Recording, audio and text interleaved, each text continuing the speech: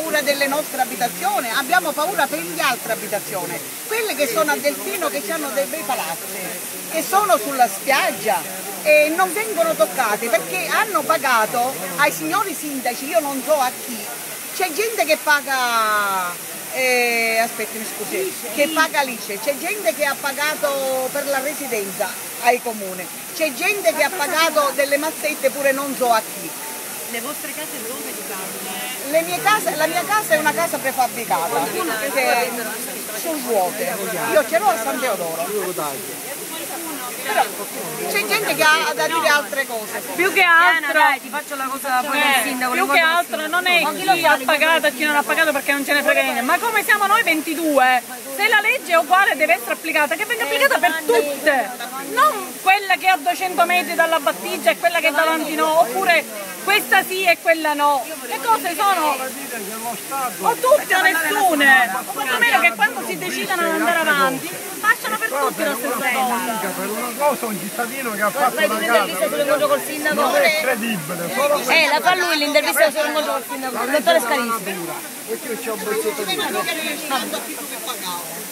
Eh, poi la usa dell'incontro col sindaco la fai tu l'intervista. E lo dici pure che si faranno altri incontri e tutti siamo pregati di partecipare.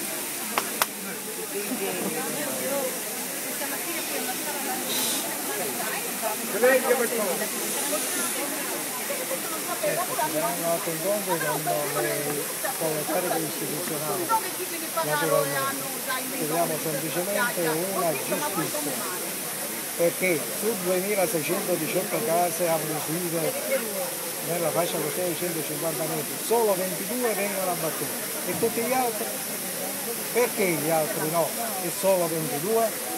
Allora giustizia. Tra l'altro io mi riferisco ancora al termine giustizia. La giustizia dice e lo leggiamo nei tribunali, la legge è uguale per tutti. Ce l'hanno insegnato i nostri antenati, prima i greci, poi i latini e ora lo leggiamo nei palazzi di giustizia. La legge è uguale per tutti. Ma che significa che a Totorreina che ha decine di omicidi sulle spalle si confiscano i beni ma non si demoliscono? E a noi che abbiamo solo l'errore di aver fatto una casa abusiva senza la concessione viene demolita e paghiamo anche i danni.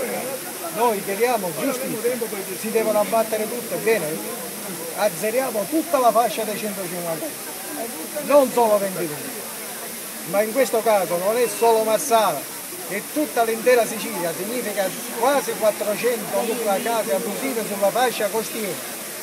Questa realtà le istituzioni, la politica non li può assolutamente dimenticare, non può far finta di non vedere, di non sentire, perché è la verità.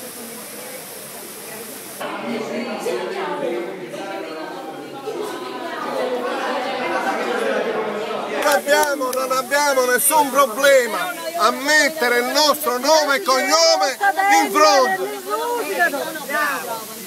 perché siamo persone oneste quello che abbiamo fatto è lecito